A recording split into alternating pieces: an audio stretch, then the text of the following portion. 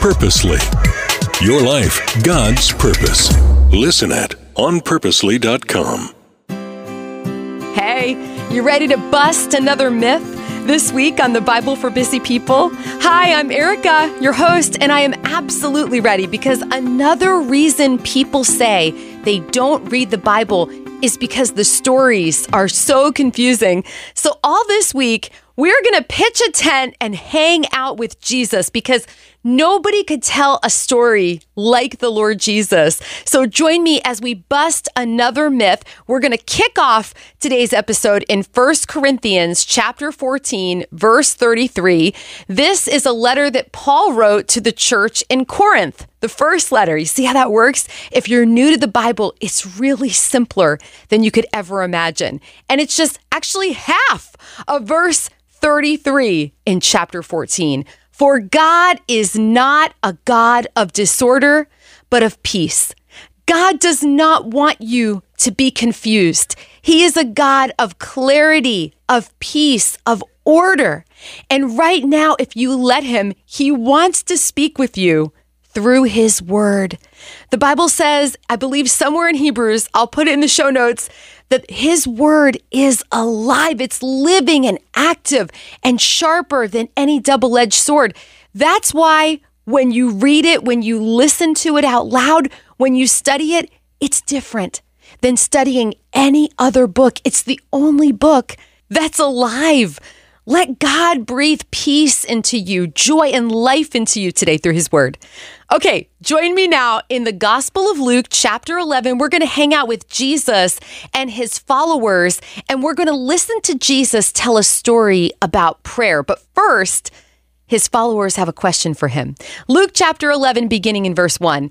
Once Jesus was in a certain place praying. As he finished, one of his disciples came to him and said, Lord, teach us to pray, just as John taught his disciples. Of course, they're referring to John the Baptist, who was the one who was sent to announce that Jesus was coming. He was the one who ate locusts and honey in the wilderness and wore animal skins.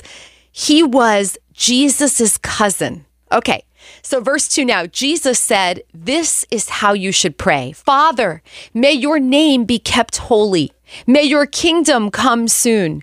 Give us each day the food we need and forgive us our sins as we forgive those who sin against us.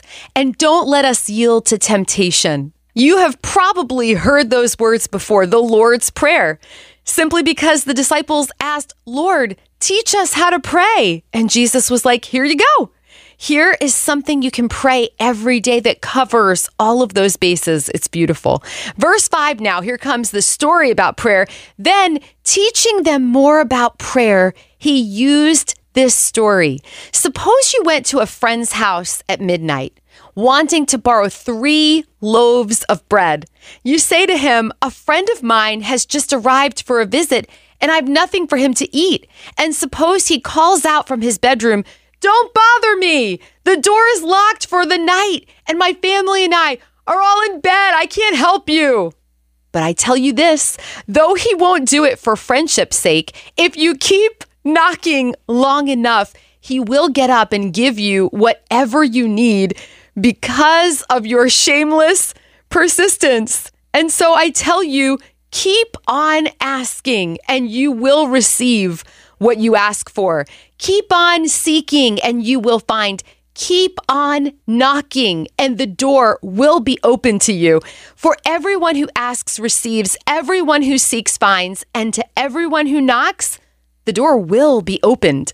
You fathers, if your children ask for a fish, do you give them a snake instead? Or if they ask for an egg, do you give them a scorpion? Of course not. So if you sinful people know how to give good gifts to your children, how much more will your heavenly Father give the Holy Spirit to those who ask him? Wow. I love that story that Jesus told and how he followed it up with so much encouragement. So let's break down this story and imagine what it would be like today. Like, what if you received a text from your friend at midnight? It would have to be a really good friend, right? It would be a little more unlikely that they would knock on your door and ask for bread, but maybe they're out of gas or they've got a flat tire or nobody picked them up at the airport like they were supposed to. And hey, Uber is not cheap, right? And they just kept texting you and texting you, like, I know you're probably sleeping, but I'm going to keep trying because maybe your phone is on silent.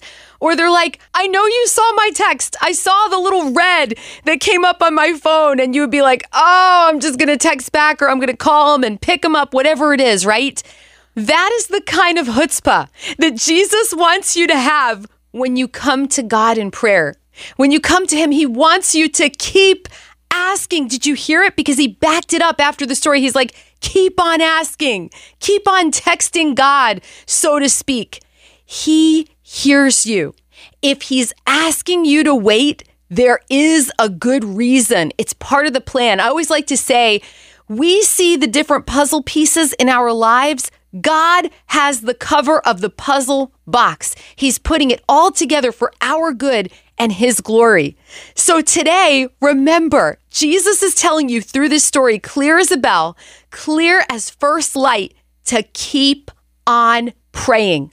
That thing that you want so much, that desire of your heart that presses day and night, the thing that swims up in your mind when it comes time to make a wish on your birthday cake, the thing that is most precious to you, God knows about it. He cares about it. He's working on an answer and he's telling you, keep on asking, keep on seeking, keep on knocking. I'm going to open that door for you. Watch and see. All right, until next time, you are really loved.